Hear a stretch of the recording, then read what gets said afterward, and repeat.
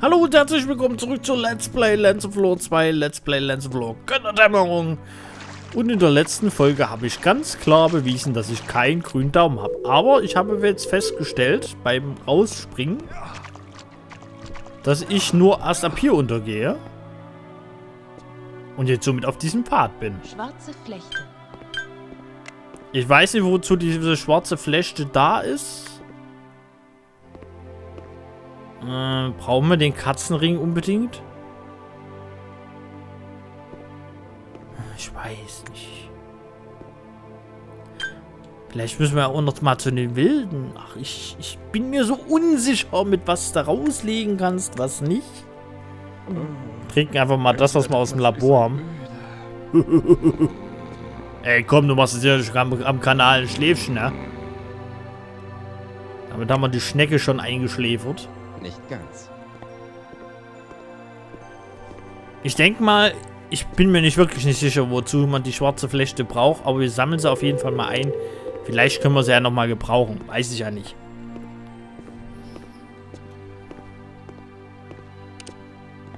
So. Immer schön der Nase nach. Den Weg kennen wir ja eigentlich. Ich will ja jetzt an sich nur mal gucken, ob das wirklich nichts zu bedeuten hatte, das ähm, Teil, was wir da unten gesehen hatten. Aber dieser Durchgang. Bin, war mir jetzt nicht sicher, ob der vielleicht irgendwas mit dem Turm zu tun hatte, den anderen, wo wir gewesen sind. Weil der fließt ja einmal in die hinterste Ecke, ne? So oder so, wir haben erstmal schwarze Flechte ähm, jetzt mitbekommen. Also wir sind ja schon mal belohnt worden jetzt für unsere Mühen, ne? Ich schätze es fast. Es sieht wirklich so aus. Naja, jetzt laufen wir durch.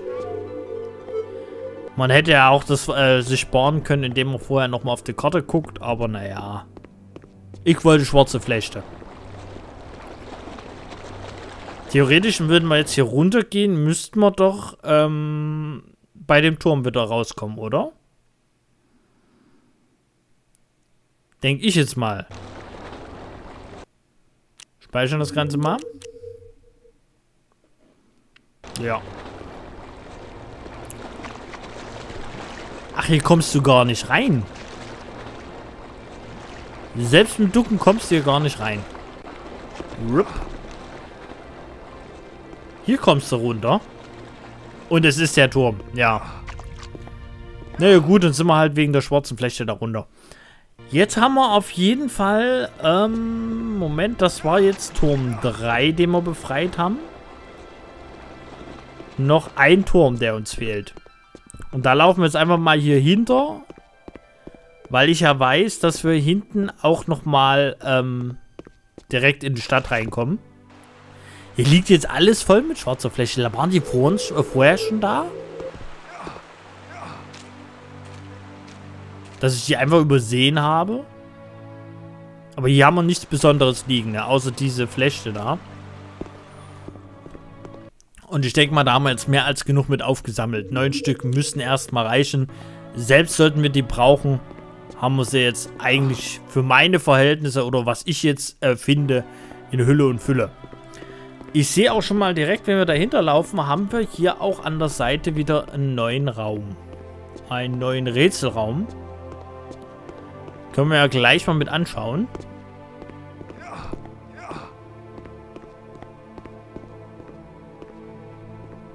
Ja.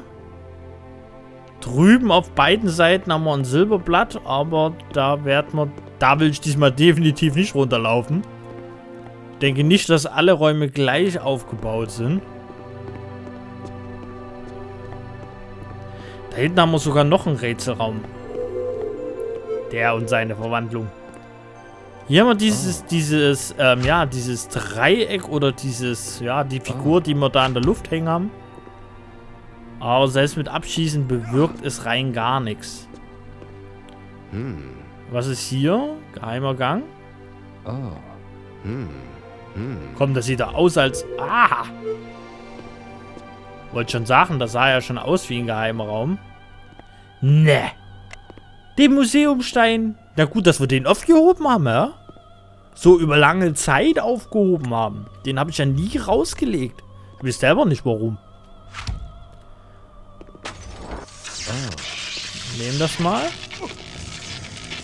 Es war eine Falle.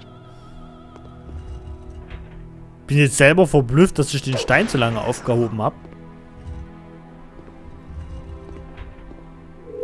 Heldenstein, aber haben wir eigentlich mehr als genug von. Ich will jetzt hier nicht alles zerschlagen. Teerkristalle können wir mal mitnehmen. Davon kann man ja nie genug haben. Hier auch nochmal ein Teerkristall. Ah, jetzt gehen wir zu früh raus. So. Und was haben wir hier Schönes? Ja, das ist dieser Fisch. Äh, nee, der kann drinnen bleiben. Der stinkt mir zu sehr, den will ich nicht. Was ist das? Ah, ein berühmter Gorgonitbrocken. Und Regenbogensulf äh, Regenbogensulfat haben wir ja gelernt. Davon ist jetzt der ganze Raum runtergegangen diesmal. Ähm, da haben wir ja gelernt, beides zusammen kombiniert macht uns eigentlich unsterblich. Ich würde jetzt diesen Stein hier einfach mal stehen, äh, dort drinnen lassen, ne? weil wir sind so voll. Warum wir jetzt hier allerdings nicht durchkommen, trotz dass wir in jedem Raum einmal drinnen waren, ist für mich eigentlich ein Rätsel. Ja, sowieso Rätsel. Aber ich finde, der Raum, der möchte gern Raum, das Museumsteil oder wie auch immer, ist erledigt. Was haben wir hier? Wieder eine Wand, die hochgeht. Wunderbar. Und hier kommen wir auf der anderen Seite. Ist ja auch spitze. Das ist mir definitiv zu heikel gerade. Da weiß ich überhaupt nicht weiter. Und hier scheint der letzte Turm zu sein, ne? Der letzte Turmraum. Speichern wir mal ab.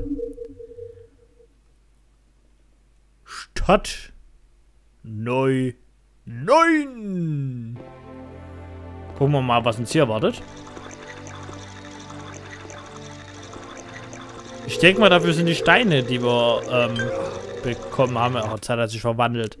Ich lade das Ganze nochmal neu. Ich denke mal, dafür sind die Steine, die wir hier bekommen haben. Das wird ja wohl einen Grund gehabt haben.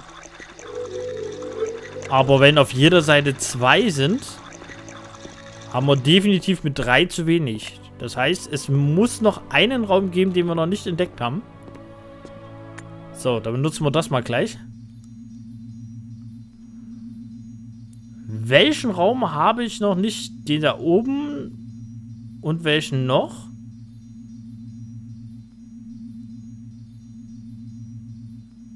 Irgendein Raum muss doch geben, den ich übersehen habe.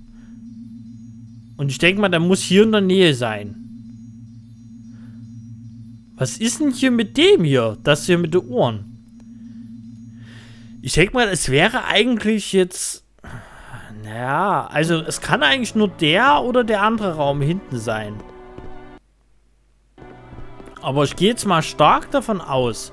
Weil wenn wir jetzt mal zurückdenken auf den Weg hierher haben wir bis jetzt, außer das Rätsel hier mit diesem fliegenden Stein, eigentlich keinen weiteren Rätselraum gefunden. Und ich denke mal, der, da der jetzt näher liegt, könnte eventuell eher dieser Steinraum sein.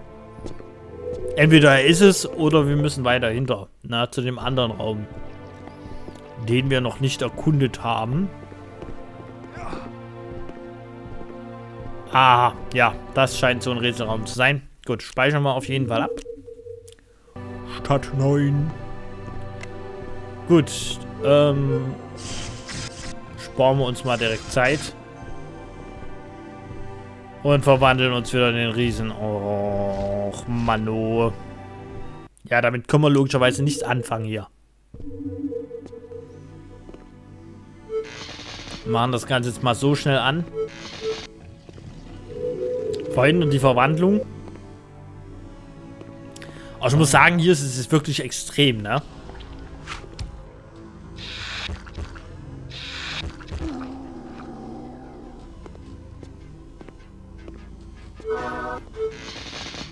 Mhm. Sehr gut.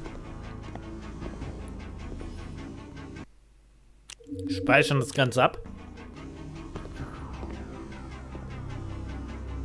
Da ist der Raum, wo es rausgeht. Ja, zurück, zurück, zurück, zurück, zurück. Ich sehe gar nichts. Überhaupt nichts. Okay. War noch im Sinne des Möglichen. Sehr gut. Abgespeichert und jetzt geht's in den letzten Raum. Der will sich schon wieder verwandeln. Ach, Mann, Mann, Mann. Also in der Stadt der Ahnen ist es wirklich extrem schlimm. So, ich glaube, hier muss ich jetzt keine äh, Markierung machen, dass wir den Raum erledigt haben. Weil wir ja schon dieses Beispiel haben, dass es ja wirklich nur vier Steine sind. Na, also vier von diesen Brocken da, also vier Steine, vier Räume, vier Rätselräume. Müsste das ja jetzt eigentlich auch komplett alles erledigt sein. Nehme ich jetzt mal an. Wenn nicht, haben wir uns das ja gemerkt. Da kommt es ja sowieso nicht wieder rein. Gut, wir fügen jetzt alles ein.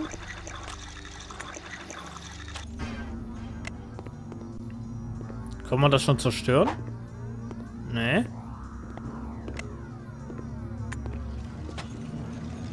Können wir das jetzt zerstören? Hm. Nee. Na gut. Also wir sollen alle Steine verwenden. Komme was wolle. Du verwandelst dich nicht.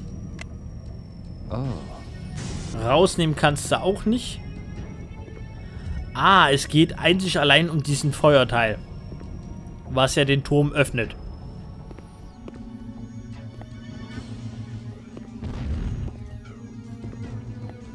Nächster oh. Sturmkristall. Und reingeschossen das Teil. Oh. Zurück. So. Speichern das Ganze. Jawohl.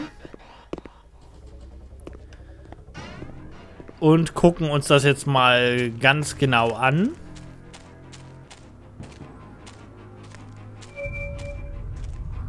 Ja, da scheint auf jeden Fall was zu passieren.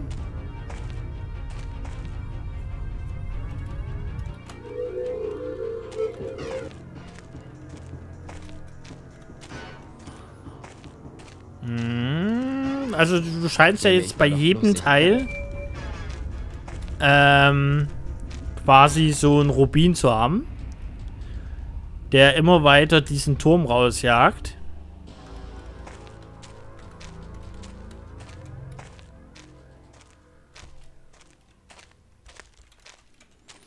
So, einmal hier lang.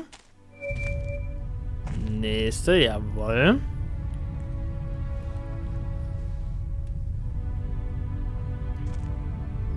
Mir stellt sich bloß die Frage, wenn das jetzt so ein Riesengebäude ist. Bei den Augen des Drarakels.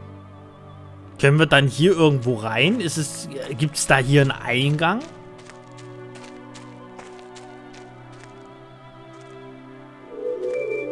Ey, komm, jetzt reicht's aber. Nichts passiert. Also beim letzten ist jetzt gar nichts passiert. Wir speichern das Ganze mal ab.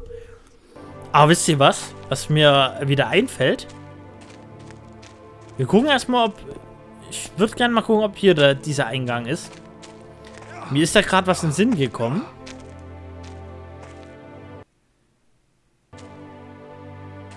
Das sieht nämlich stark aus wie ein Dach. Ne? Wie du dir so ein Dach von so einem Turm vorstellst. Und wir hatten unten in der Mitte, zentral im Stadtkern, auch so eine Fläche. Wir gucken uns das gleich mal auf der Karte an. Da. Und da ist auch nochmal das Symbol. Das heißt, es muss im Stadtkern drin sein. Gehe ich jetzt mal stark von aus, dass im Stadtkern drinne dieser Eingang ist und mhm. wir oben einfach bloß das Dach haben. Oben an der Spitze der Türme, logischerweise, ne?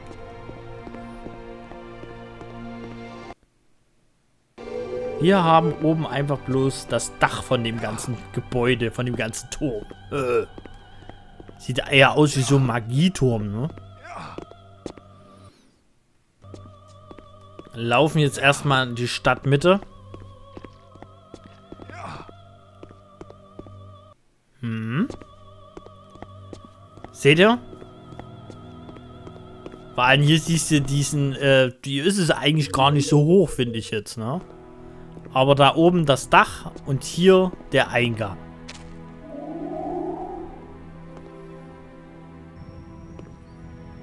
So. Ich habe dich erwartet. Belial, ihr macht wirklich große Fortschritte. Warum bekämpfen wir uns? Und ich mache aus dir einen König. Belial war zu seinen Verbündeten schon immer sehr großzügig. Und du kannst Belial nicht töten, indem du diesen Körper vernichtest. Wenn du wirklich Belial bist, warum kann ich dich jetzt nicht einfach töten? Die anderen beiden Belials habe ich auch erledigt. Auch ich bin nur eine unfertige Version von ihm. Belial kann seine Geburt nicht ohne die Macht in dir vollenden. Wollen wir nun Freunde sein oder soll ich sie dir aus dem Leib reißen? Da gibt es leider ein Problem, ich vertraue dir nicht. Dann wird dein Leben nur noch kurz sein. Belial wird zurückkehren. Würde er das doch endlich tun. Seine Helfershelfer fangen an, mich zu langweilen. Oh, toll. Ich habe mich gerade verwandelt und konnte es nicht verhindern. Ne? Ich hoffe natürlich, jetzt schaffe ich Belial. Nimm mal einen neuen Lebensring mit. Hm.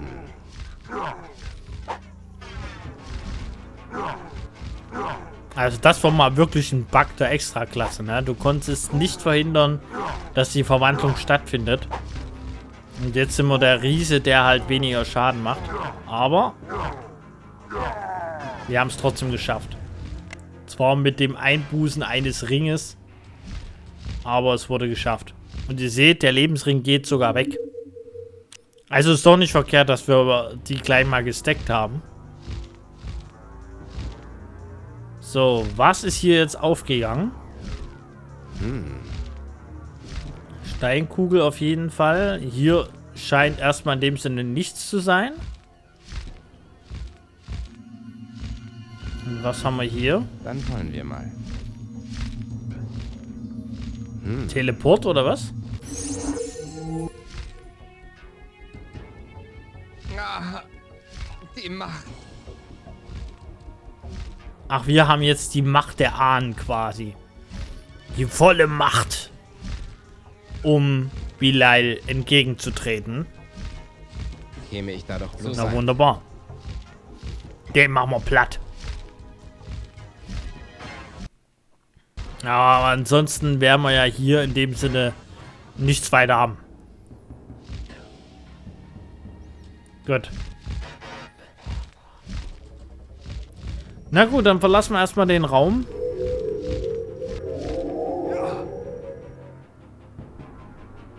Sehr gut.